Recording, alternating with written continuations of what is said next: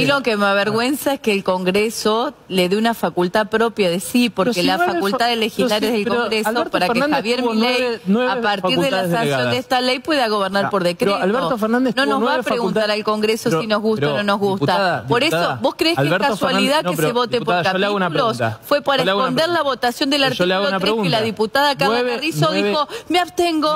Nadie quería votar ese artículo, porque nadie quiere delegar la facultad de disolver una persona me lo permite porque si no me hace una pregunta. ¿Cómo es el caso hace una pregunta y se pone verborrágica. Esto, es insólito porque lo están acusando de tener superpoderes al presidente, pedir los superpoderes con una facultad delegada para disolver un organismo. ¿Qué quiere decir? Que el presidente no quiere tener más poder.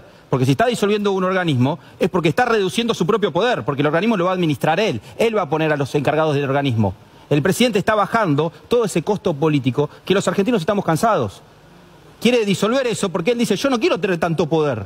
Por eso necesita esa facultad delegada. Y cuando habla de privatizaciones, IPF, eh, Aerolíneas Argentina, en manos de la empresa privada, en manos de la empresa privada, el Estado le terminaba pagando el combustible y los salarios y por eso, la tuvieron que gracias por, gracias por recordar el caso de IPF, así recordamos lo que está pasando en la justicia por la expropiación que hubo de IPF y el juicio que tenemos y la, deuda que estamos teniendo. lamentablemente eso lo hizo Axel Kicillof. Tengo en contra de un gobierno que toma malas medidas, malas decisiones que afectan a, la gente. voy, a, explicarlo, ya lo expliqué tantas veces, pero bueno, claramente el kirchnerismo nunca lo entendió. El problema de los precios es por culpa de la emisión monetaria que ¿Qué hizo el gobierno. ¿Qué tiene que ver con las prepagas y el DNU 70? ¿De qué estás hablando? Estoy hablando de la emisión monetaria, estoy explicando la suba de precios. Por eso que fracasaron. por eso que fracasaron, porque no escuchás. Con, la, con lo que estás diciendo. estás hablando cualquier me estás interrumpiendo, me estás interrumpiendo. A ver, escuchémoslo. Te dejé hablar recién, me estás interrumpiendo. Por eso, no, por eso gobernaron tan mal, porque no escuchan, porque no entienden conceptos básicos de la economía.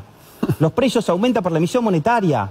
Ahí está el problema. La ley de bases es un retroceso en todos los aspectos. Yo no le veo nada positivo. Bien, a ver, Remarra. Bueno, eh, muy contento con todo lo que está pasando. Eh, creo que la ley bases es un paso más que necesitaba la Argentina para salir de este proceso de todas regulaciones que lo único que hacían era desincentivar a la inversión.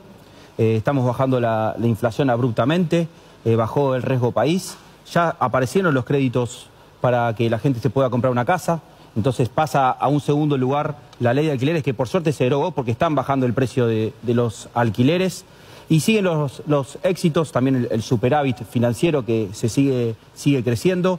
Todo eso es cuestión de gestionar, cuestión de, entender que la economía necesita un sector privado fuerte para poder pensar en una Argentina de largo plazo en crecimiento y en desarrollo.